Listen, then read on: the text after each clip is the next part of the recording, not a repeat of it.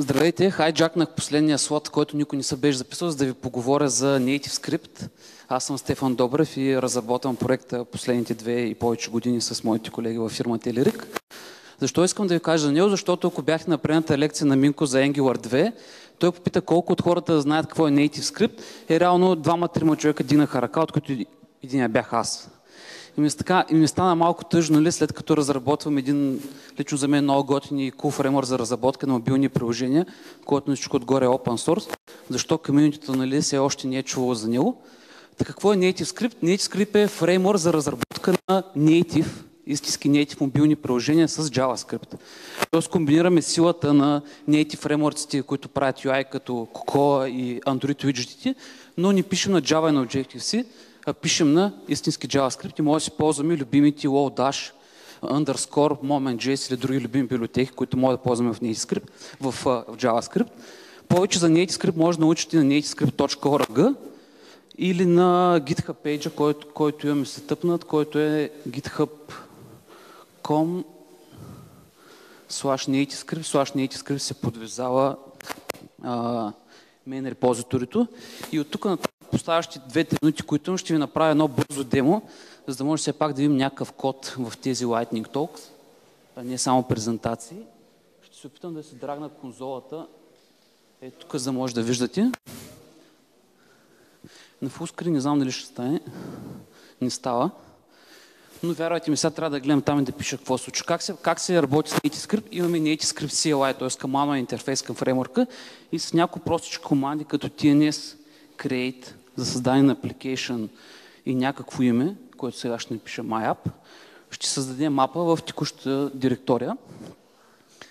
Ето проектът се създаде. Сега влизам навътре, където направя application Надявам че виждате. Да, и сега ще направя следващата команда, която ми трябва, именно да рънна application за iOS. В случай искам да го пусна на емулатора. Затова ще подам switch emulator който в момента ще компилира, ще пусне апликейшна ми в, а, а, в iOS симулатора, а междувременно аз ще ви покажа какво представлява кода на този апликейшн, който билдаме в момента, именно дефолтния шаблон, който имаме. За тази цел ще отворя апликейшна, който се намира на десктопа ми. Ето къде е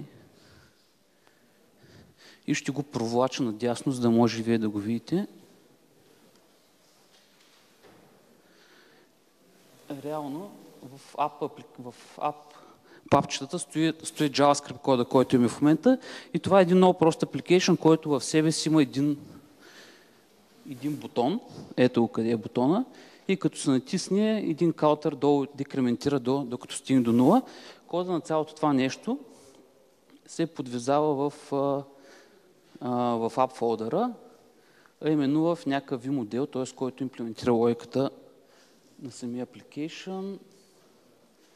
Ето може да видите, имаме си някакъв каунтър.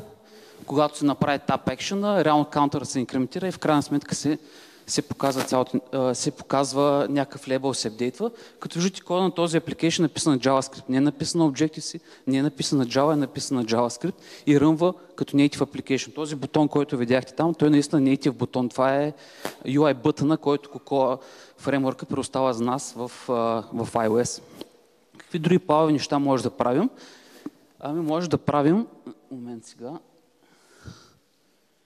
да се поскролирам тук, да си изчисти екрана. Мога да го изчисти или не мога?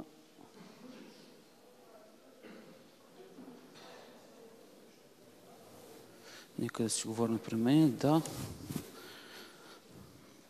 Може да направим една друга команда, която се казва LiveSync.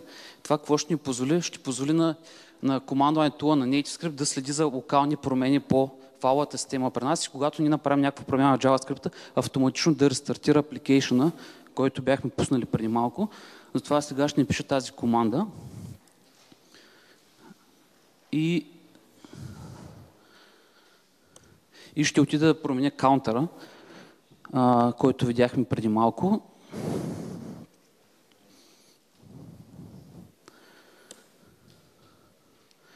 Така. Ето го симулатора, който е ми в момента.